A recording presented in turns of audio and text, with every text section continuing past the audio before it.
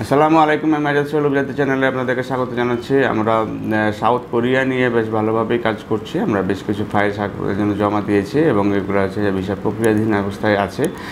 সম্পূর্ণ বেসরকারিভাবে এই ভিসাগুলি ইস্যু করা হচ্ছে এবং এগুলো হচ্ছে যে আপনার কোনো প্রকারের অভিজ্ঞতা ছাড়া বা আপনার কোনো প্রকারের কোনো ভাষা জ্ঞান ছাড়াই আপনার সাউথ কোরিয়ায় এই ভিসাগুলি হবে এবং সেখানে গিয়ে বেশ ভালো স্যালারিতে দুই লাখ টাকার উপরে স্যালারিতে আপনারা কাজ করতে পারবেন এবং বিভিন্ন ফ্যাক্টরি এবং কনস্ট্রাকশন রিলেটেড কাজগুলির জন্য আপনার ভিসাগুলি প্রসেস হবে।